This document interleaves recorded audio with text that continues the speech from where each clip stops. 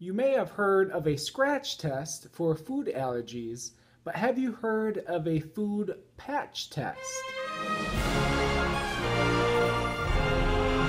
Hello everyone, my name is Nick, coming to you today from Grand Haven, Michigan, and you may have heard of a scratch test before, but level two is a food patch test, where they actually take foods and patch them or tape them to your body. I did this just last week.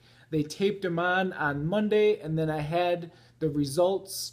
Uh, I went back in for the results on Thursday, where they removed the tape and saw what was inflamed with the different types of foods. Then afterwards, they actually did the scratch test. So I had a food patch and food scratch test last week.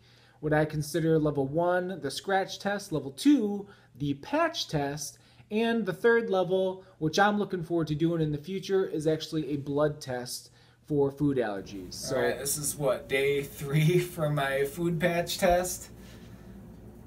I got this 20 different foods taped to the back of my spine slash back and have to have it on for three days.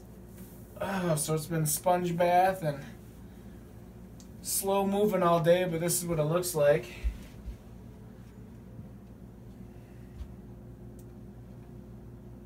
Definitely uncomfortable. This spot down here is for a scratch test tomorrow, which I'll, I'll see, but yeah, uncomfortable. I'm looking forward to getting this off my back. So. Well, I just got the food patch test removed from my back.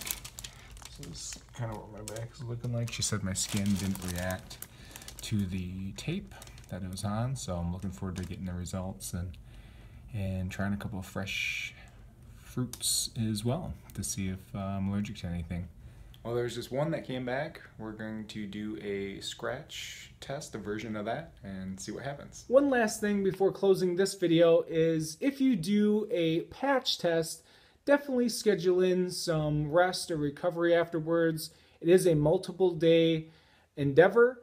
So I definitely enjoyed my breath yoga class. I help organize on Thursdays after my patch test was over. And also a friend of mine thankfully invited me to his hot tub to, to spend as many days as I needed there to recover. So my back was definitely sore from the experience as well as having a problem uh, sleeping, you know, in my stomach, which is actually not necessary if you do do a patch test. But I just found it was just you know, it was a new experience for me. So hopefully my experience will help you if you do a patch test or a scratch test. Thank you so much for watching. I appreciate each and every one of you, and especially to the long time and new subscribers. That is super cool of you. I appreciate you very much.